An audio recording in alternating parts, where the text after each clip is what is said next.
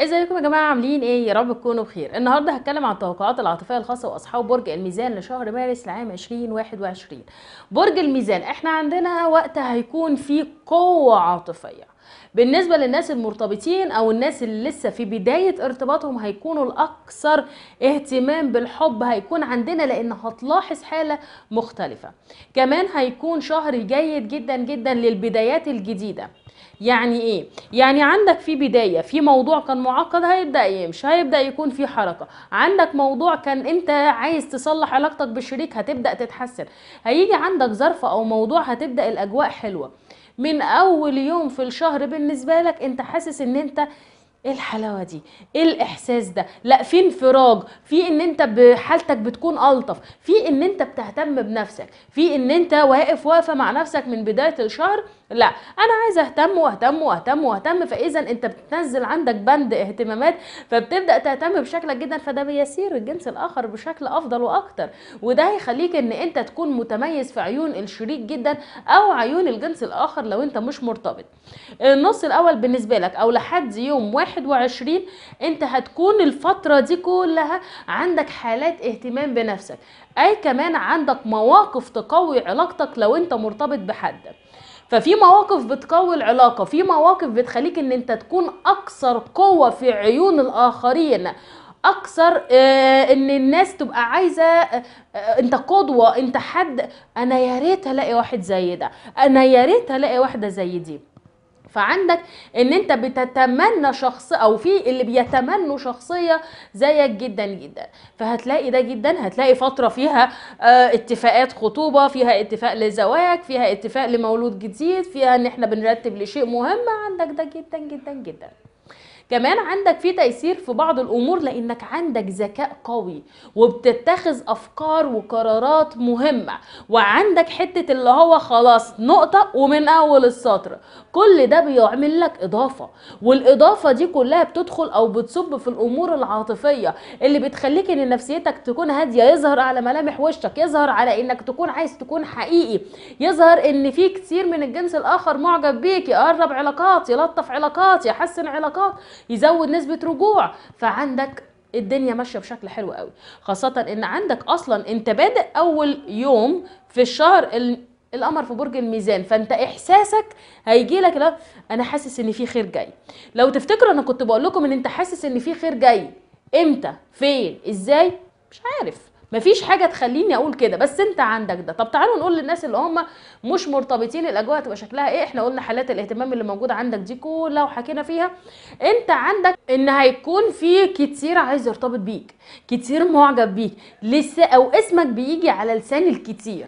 كتير لا أنا عايز الشخص ده أنا إيه الش... لا لا لا لا إيه الحلاوة دي؟ لا بص أنتوا النهارده الله أكبر هتلاقوا من ده؟ كتير جدا. برج الميزان انت إذا في عندك ارتباط.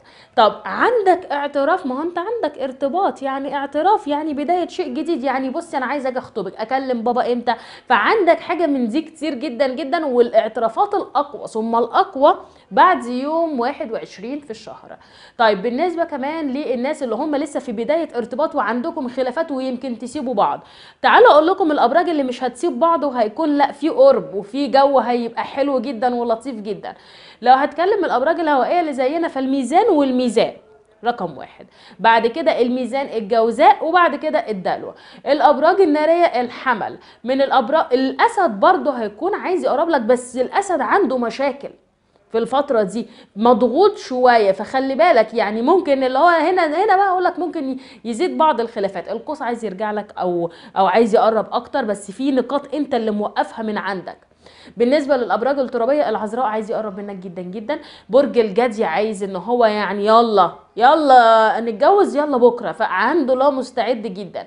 طيب بالنسبة للأبراج المائية بالنسبة للأبراج المائية برج العقرب حنية قوية مفرطة لبرج الميزان بشكل رهيب خاصة رجل العقرب ومرأة الميزان. طيب بالنسبة كمان لبرج الحوت رجل الحوت نفس الموضوع. بالنسبة للأبراج إحنا قلنا الأبراج الترابية قلنا الجدي. طب خلاص تمام. بالنسبة بقى للناس المتجوزين انت عندك في تحسين علاقات بشكل حلو؟ قوي مواقف هتخليك إن أنت مميز في عين زوجتك أو عين حبيبتك جدا في إن أنت أو أنت يعني سواء برج الميزان عامة رجل أو مرأة في موقف هيميزك في موقف هيخلي الشريك هيبقى بيشكر فيك قوي فخور بيك جدا واصل لمرحلة إن هو يعني هيلبسه هيلبس تاج باسمك على دماغه ففعلا هتلاقي ده قوي. بسبب برج الميزان عندك إن الشريك ممكن يمر بأزمة ممكن يمر بمشكلة ممكن يمر بموضوع بس انت بتساند أو انت بتقف معاه أو انت مشكلة صحية انت بتكون جنبه جدا. فهيكون حالة تقديرية قوية لبرج الميزان كمان أو الأكثر في حالة تقدير مع الأبراج دي. هقول أربع أبراج من كل مجموعة برج من الأبراج الهوائية اللي زيك الميزان والميزان الميزان والحمل الميزان والعذراء الميزان والعقرب. دي أكتر الأبراج اللي واخدين القمة في حالة الافتخار وحب وعلاقات بتتميز. بالنسبة للناس المتجوزين في موضوع مهم جدا جدا الموضوع ده مهني بداية جديدة شيء مهم. ففي الحاجات دي بتصب لصالح العلاقة العاطفية جدا. عندك شيء جديد ممكن يكون عندك يكون عندك إن أنت يعني بت بتمر مثلا بموضوع أو ايا كان حاجة كانت صعبة لأ هتخلصها. فاذا ده بيزيد من العلاقة اللي هو عارفين اللي هو آه أنا عملت كذا وكذا وكذا لقد نجحنا عملنا مش عارفة إيه كسبنا إيه. فعندك حالة قوية قوي قوي هتخليك تتنطط بالفرحة أنت والشريك وده هيسعدك جدا جدا هيخليك إن أنت تكون قادر تدي عاطفة. هيكون عندك حالة بهجة حلوة قوي يمكن كمان عندك حالة التغيير اللي أنت بتصنعها في نفسك. فده بيأثر على درجة إن أنت بتلتقي ذاتك إنك مؤمن بذاتك إنك بتحب نفسك. برج الميزان برضو أقول أنتوا عارفين أنا هقول إيه. أنت عندك فيه حسد كتير وعندك شوفوا بقى كمية الحب والإزدهار واللي واللي اللي إحنا قلناه. ممكن في لحظة صغيرة إن ده يتأثر كله بطاقة سلبية اللي هي من عيون الحبايب والحلوين.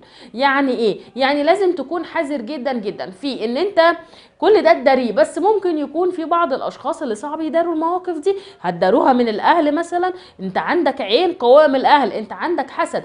أنت تعرف إن السحر سهل معالجته لكن الحسد صعب معالجته جدا.